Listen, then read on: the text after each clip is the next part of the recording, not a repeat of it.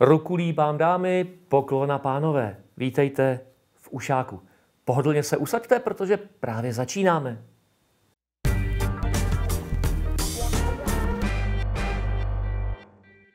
Pro mě bylo vždycky nejvíc, když je plný stadion, na, nastoupí se na to hřiště a prostě začne hrát ta hymna.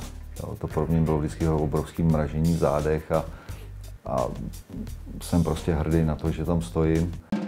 Říkám, teď si kopni penaltu normálně, třeba třikrát, čtyřikrát, pětkrát. A teď počkej, já ti nasadím batok, kde dám 30 kg.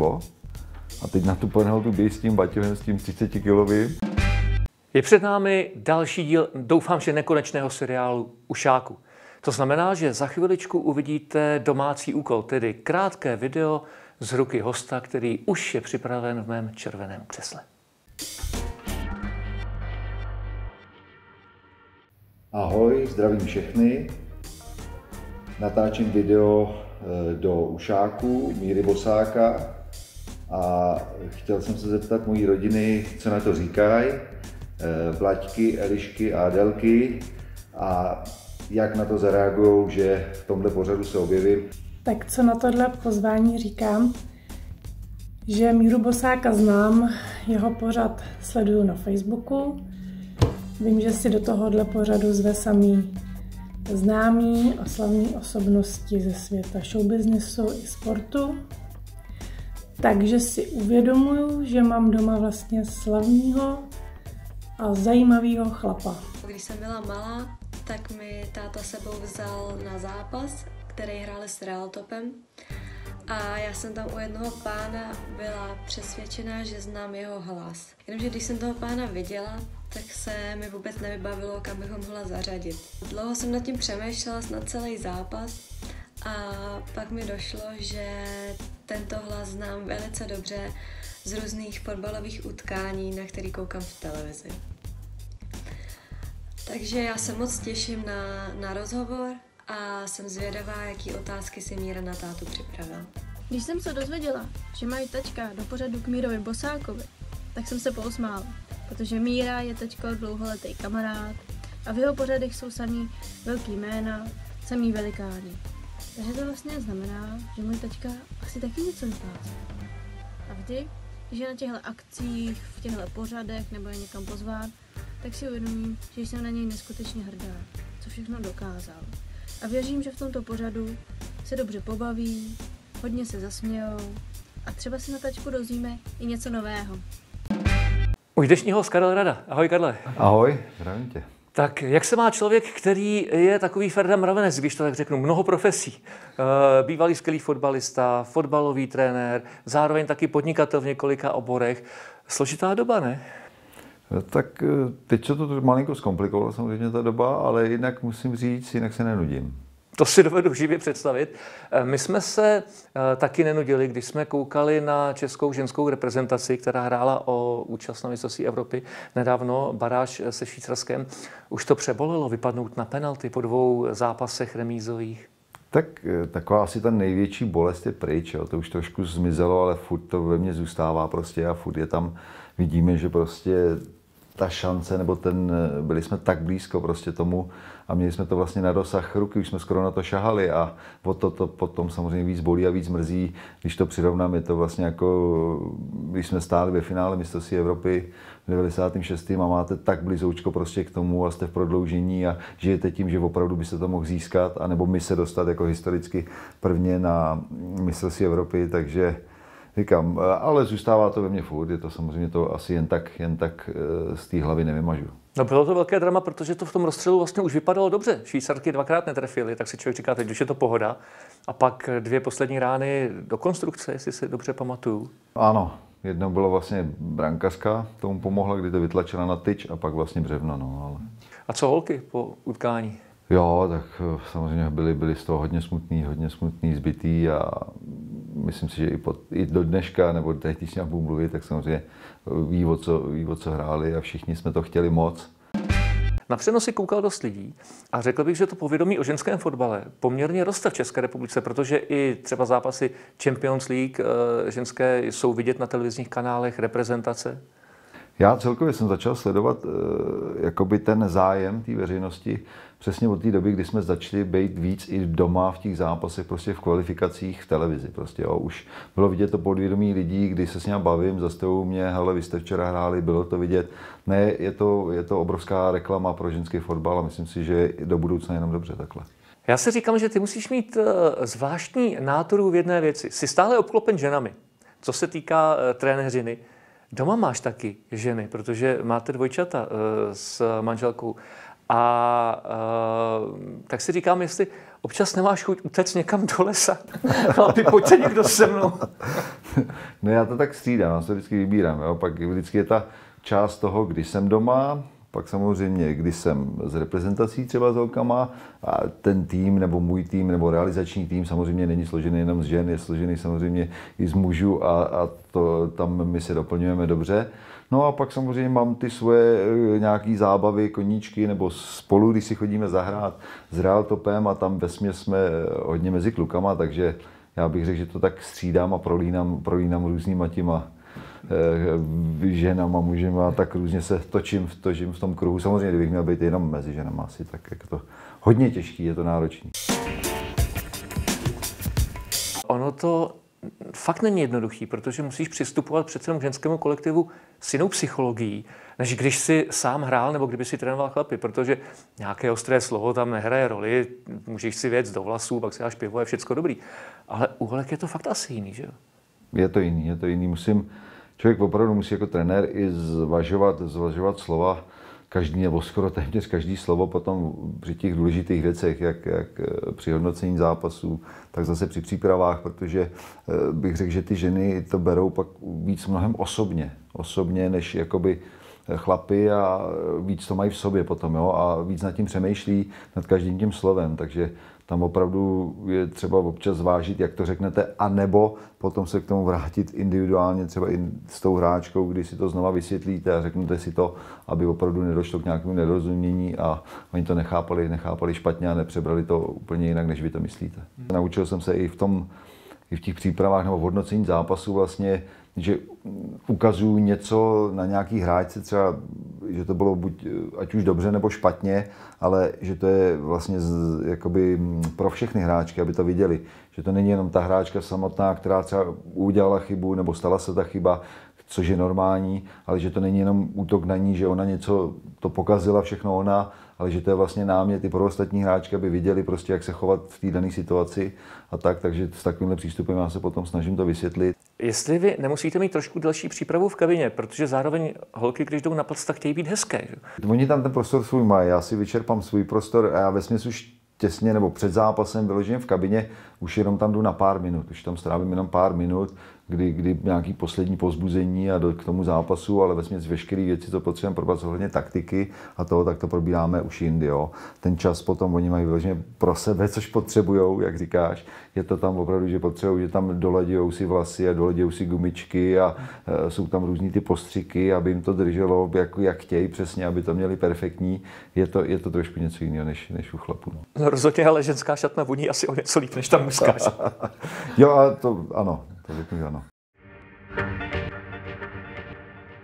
České hráčky, které zůstávají v republice ve Slávě, Spartě, tak uh, asi si těžko vydělají na zbytek života kariérou. Uh, takže dokážu si představit, že ti někdo řekne třeba i 7 a 28, hele, mám nabídku super práce a musím skončit je tam, je tam, samozřejmě jsou tam ty holky, který, i to chápu teď, který jsou třeba i starší trošku, jako fotbalově starší a mají třeba dobrou práci, nebo kterou už dělají x let. A teď samozřejmě jsou na hraně toho, že ta náročnost toho fotbalu i těch trenérů tady, vlastně i těch klubů stoupá, samozřejmě narůstá na ty holky a tréninkové věci a tak, a takže oni jsou, myslím si, že to nemá jednoduchý. Úplně, když chodí do práce, si promítnu, že někteří stávají třeba v 6 hodin ráno, jdou do práce, přijdou z práce, jdou na trénink a s některými jsem se takhle přímo bavil a potom přichází domů v 8-9 hodin, eh, prostě nají se a jsou akorát tak schopní padnout do postele prostě usnout a, a ráno se probudit a tenhle ten kolotoč. Já říkám, a tenhle kolotoč si myslím, že nejde, nejde za dlouho vydržet. Jo? A když přijde určitý věk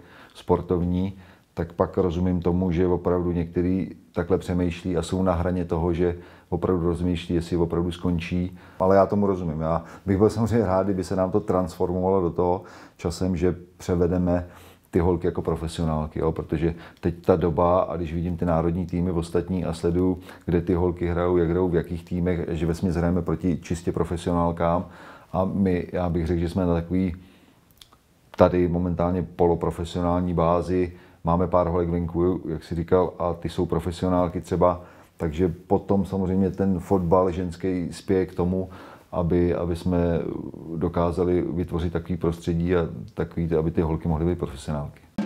Profesionální fotbal to je tvrdá dřina. A e, ženy prostě logicky nemůžou být třeba tak rychle nedokopnou balon na 60 metrů. A, a teď to musíš hlavně nějak zpracovat, že po nich nemůžeš chtít to maximum, co třeba jste museli předvádět vy. Samozřejmě ta náročnost tam trošku, trošku je jiná. Tam, tam musíš jako rozlišit, kdy opravdu můžeš tlačit na pilu, nebo můžeš zatlačit víc na pilu, a kdy naopak musíš prostě ubrat a, a nechat to a jít od toho pryč třeba, protože z toho vznikají akorát vznikly problémy a řešil by si potom jenom věci, zabýval by se víc těma věcma, než jakoby fotbalem. Jo. Takže, ale v národním týmu bych řekl, že ty holky přijdou z těch klubů a, a tam vlastně já už žádný fyzické věci nedělám tolik, já tam se věnujeme spíš taktickým věcem a tím, že dolaďujeme ve z těch pár dnů, co jsme spolu před utkáním, tak dolaďujeme k tomu zápasu, aby jsme byli, aby jsme byli připraveni na ten zápas. Už si to ťukl úplně v začátku, rok 96.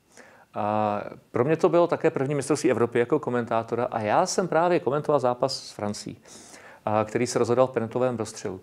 A ty si první zápasy nenastupoval, protože tam, myslím, hrál Honza Suchopárek, Mírek Adlec jako stopery a najednou si se objevil v základní sestavě v tom velmi důležitém semifinálovém utkání proti Francii. Ale cože jsi se objevil? Ono to došlo do penalt a ty si šel kopat penaltu. A já se fakt uh, pamatuju na to, že jsem byl překvapený, protože jsem si říkal, je tam hodně borců, který bych čekal, a teď jde Karel. V té době totiž jsem, já jsem kopal penalty v klubu vlastně v Olomouci, že jo. A mm, tak jsem si říkal, tak penalty kopu, tak on trenér Uhyn vlastně šel takový kolečko, že si obcházel hráče v té pauze a říká takhle, tak tam seděli různě posedelný, nebo stá, on přišel ke mně a říká, co ty, jako ty by si šel na penaltu, nebo jak to cítíš? Říkám, jsem tak seděl, jako říkám, tak jako půl Olomouce, říkám, tak, tak bych šel, jako, tak půjdu, no. Nebo ne půjdu, řekl bych šel, jo, šel bych.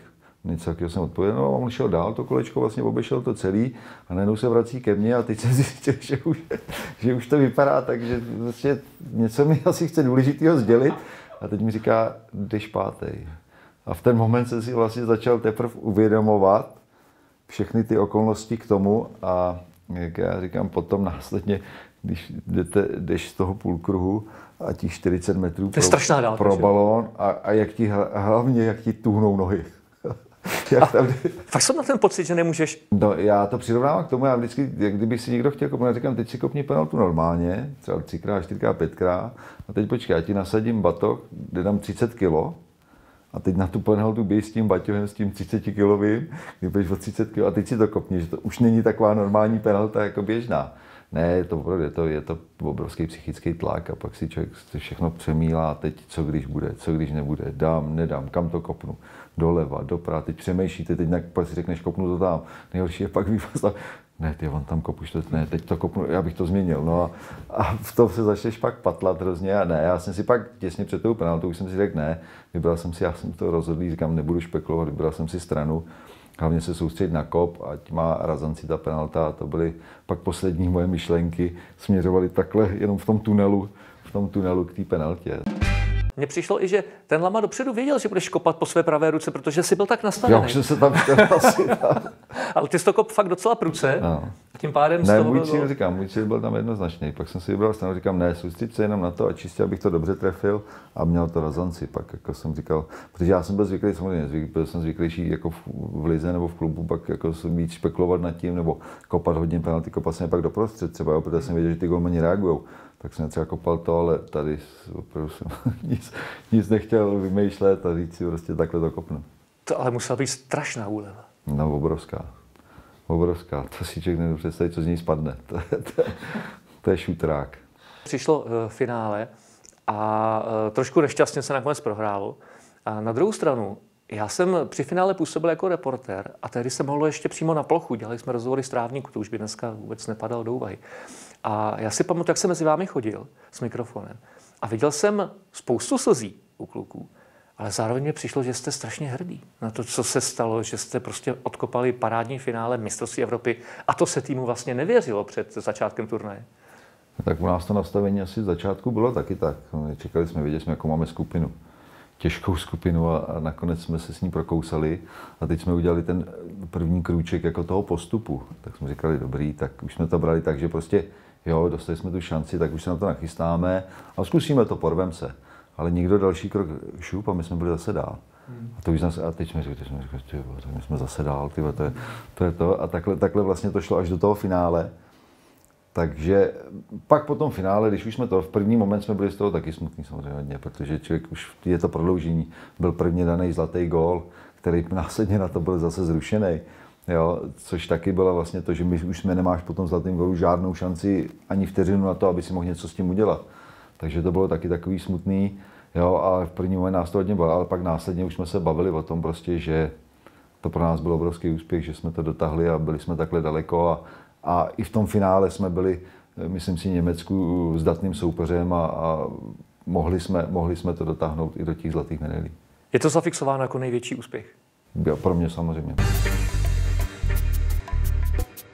Vrchol ať hráčský nebo trenérský pro mě je vždycky reprezentace a pak e, tam nastane to, že vlastně pro mě bylo vždycky nejvíc, když je plný stadion, nastoupí se na to hřiště a prostě začne hrát ta hymna. Jo, to pro mě bylo vždycky obrovský mražení v zádech a, a jsem prostě hrdý na to, že tam stojím a tam jsem si vždycky na tom místě uvědomoval nejvíc, co to vlastně znamená hra za reprezentaci. Taky máš přes čtyři desítky startů a e, některé se počítají i do mistrovství Evropy 2000, kde to byl trošku opačný případ než e, v Anglii, protože jste tam měli jako druhý tým světového pořadí. Opravdu výborná kvalifikace a skupina těžká, to bez zesporu. E, domácí holanděni, pak francouzi. E, ale e, lidi už tak nějak čekali, že sám zopakujete rovnou ten úspěch z před čtyř let, ale byl najednou konec ve skupině. Takže najednou e, po té euforii z Anglie asi docela rána, ne? Pro mě rána ani ne, jako by rána, protože já opravdu, jak říkáš, my jsme měli mistry Evropy, mistry světa, to byli francouzi, myslím, v té době. Ty byli v 98. No. Ano, ano. Ty byli tam mistrovství světa, mistrovství Evropy, pak Holanděny, domácí tým, který samozřejmě hrál doma, chtěl, chtěl dokázat, chtěl tam postoupit hodně a Dánsko, který jsme měli nalosované to, ale mě jednou, když se k tomu zase zpětně vracím, vždycky je, je fakt dobrý si to teď jako po těch letech, že tomu vnímáš už v klidu, s nadhledem, uběhla nějaká doba, víš, co mezi tím proběhlo, tak já to hodnotím tak, že my jsme tam opravdu jako neodehráli špatný zápasy, zase tak, že bychom úplně propadli v těch zápasech, nebo nás někdo deklasoval, že jsme dostali 3, 4, 5, 0 od mistrů světa a tak pro mě to byly zase zápasy, kde jsme si furt čahali na to, nebo byli jsme blízko tomu, že je můžeme porazit nebo můžeme s nimi remizovat. Jo? Jak s Holanděnama, kdy si myslím druhý poločas jsme tam, tam byli jasně lepší. Tam jsme nastřelili tyčku, nějaký šance jsme měli to, pak jsme dostali takovýhle gol z penalty samozřejmě. Jedna vlastně prohráli, jo? takže pro mě zápas, že jsme v těch zápasech byli s datným soupeřem, tímhle velikánům, velikánům fotbalu. Ty jsi byl svým způsobem taky průkopník, protože jsi se v 96. 7. odebral do Sedmým. Turecka, do Trabzonsporu a tehdy to nebylo jako dneska, že Turecko je vlastně normální destinace, kde hrávalo a hraje dost českých hráčů. Do té doby, já nevím, jestli tam někdo byl vůbec delší čas před tebou. Já si myslím, myslím si to, mám to 100% ale že jsem byl první z Čechů, jako první Čech, který tam tu dobu odešel do té první ligy tam. To bylo Turecko klasický v té době, kdy všechno vám slíbili, jo, co, co, může být možný, tak všechno bylo slíbené, ale samozřejmě určitou dobu to trvalo vždycky. Tak po x připomínání tohle, tak teprve to bylo. Takže ono, než se tam dostala žena, než jsme byli na první sutří, tak byl třeba měsíc, první nebo měsíc, jo. Pak jsem měl už mít dávno zajištění bydlení, který samozřejmě nebylo, takže jsme zůstali na hotelu. Pak postupně jsme začali bydlet, bydlet. Tam bylo dobrý, že já jsem tam vlastně byl přišli jsme tam ve stejnou dobu s Chorvatem, s Davorem Ugrincem, kterým vlastně jsme vytvořili si neskutečnou dvojku, bydleli jsme vedle sebe a byli jsme spolu na pokoji, jsme spolu spali, takže my jsme potom se tak doplňovali, že on tam měl vlastně, neměl ženu prvních půl roku, protože čekal, čekali miminko, takže on vlastně víceméně byl furt u nás, jo? takže my jsme vždycky, já jsem písknul z, z terasy, on přiběh, říkám mu, hele, je jídlo, snídaně, večeře, máš tady uvařeno, přijď se najíst. Ten poslední půl rok zase také to bylo obráceně u nich, takže jeho, jeho žena zase přijela a my jsme to takhle zase, hele, písknul on, říká, pojď, žena připravila jídlo, pojď se najíst. Takže to bylo, tohle v tomhle bylo perfektní. Tak. No asi to byla záchrana, protože já si to nedovedu moc představit. Najednou žiješ v zemi, jejíž jazyk logicky neovládáš, není s kým si sednout po tréninku, po zápase. A to by asi bylo trošku na palici. S tou turečtinou prostě člověk to měl v té době vůbec naposlouchaný. Jak já říkám, když jsi měl třeba Němčinu, tak jsi znal z televize. Hmm. Že si znal ty slova, poslouchal jsi občas nebo něco. Ale tu turečtinu to mě přišlo v první moment, nebo když promluvil, to nerozeznáváš věty, slova, nevíš nic, to ti přijde jako zhluk něčeho, že na tebe vysype a nevíš, čeho se máš chytit. Takže, ale pak jsme, jako bychom se naučili, samozřejmě ty základy jenom, kdy jsme začali, aby jsme měli ty komunikaci jak na hřišti, základech, tak něco, něco si říct. Když jsme se bavili o té fotbalové kariéře, tak eh, to by bylo na dlouhé povídání, protože ty jsi prošel Plzní, ty jsi prošel eh, Teplicemi, Sláví, Bohemkou, Eintrachtem Frankfurt, Trabzonsporem a samozřejmě reprezentací. A, ale tvůj život má i další stránky a eh, už jsem to naznačil na úvod. Podnikáš třeba i můžu to tak říct, v cestovním ruchu?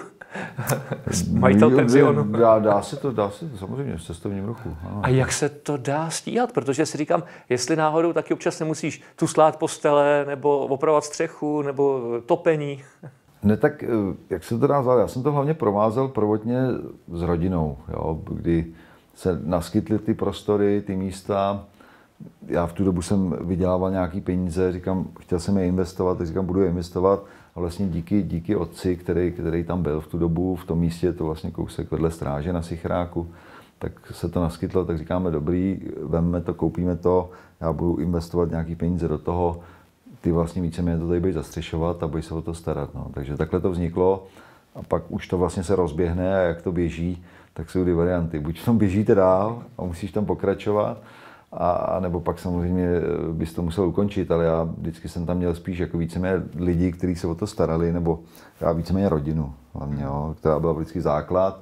Musím říct, zatím jsem tam potkal, jakoby, nebo jsem narazil, který mi to vedli tam, nebo tak na dobrý lidi, nebo vynikající, který jakoby i bez mý přítomnosti potom samozřejmě to zvládají, ale mě baví to, že když tam třeba přijedu a mám to volno, tak opravdu mě to nevadí jakoby občas fyzická práce dělat, jo? že jdeš i do toho lesa, i když bys tam měl hrabat něco, zpravovat eh, dřevo, dělat něco. Že pro mě je to i od toho fotbalu jakoby odreagování potom, jo.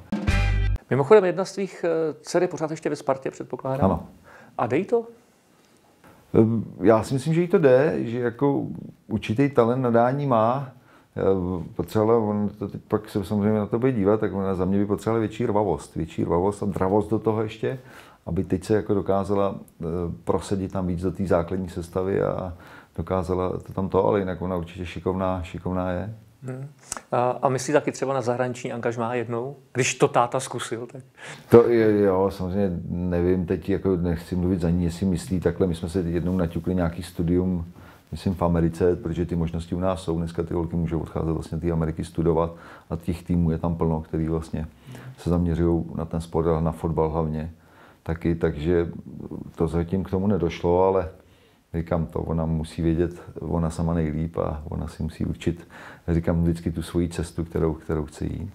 Jedna věc je trénovat, ale mm, je tady jeden eh, problém. My se musíme udržovat eh, i sami v solidní fyzické kondici, protože nás čeká velký zápas, protože jako tak říká, každý rok musíme hrát za Real Top Praha v Krchlebech na narozeninách Ivana Trojana.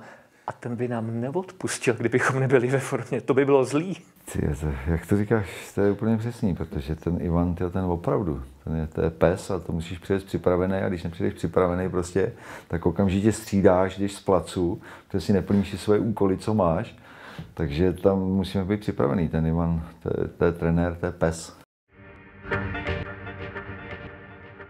Na závěr se musím zeptat, jak to teď vypadá směrem k reprezentaci, jaký je nejbližší program? My máme v červnu, máme teď eh, jedno otevřené okno, který je vlastně otevřený, vždycky máme daný termíny prostě na celý, na celý roky, vlastně, kdy víme, kdy reprezentace má prostě svůj prostor díky, aby nám uvolnili vlastně hráčky ze zahraničí, domácí kluby, tak vlastně tam se vynech vypouští soutěže, takže to máme takhle rost. Takže máme v červnu přípravný období a pak už nás hned čeká za konec září rozjezd kvalifikace na mistrovství světa. A první zápas e, máme Holandsko.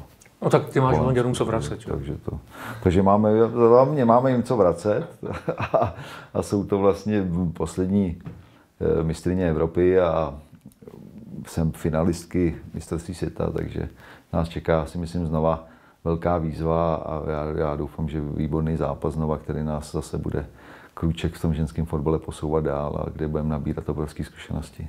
Tak já ti popřeju a samozřejmě i tvým eh, svěřenkyním, ať to dobře dopadne, ať se máme na co koukat. Zároveň uh, bych uh, tobě, ale i kolegům uh, z oboru přál, ať konečně začne všechno fungovat normálně a můžete třeba zase vítat hosty v maximální možné míře. Tak já děkuji za to a samozřejmě by, jakoby u nás v ženském fotbale bych řekl, že se to teprve jakoby rozjíždí, co se týká diváků. Jo. Takže my, ale je to příjemný, každopádně je to mnohem příjemnější, jestliže máte 300, 400, 500 tisíc diváků e, na utkání, než nikoho. Hmm. Takže... Můj dnešní host, Karel Rada. Díky za pozvání.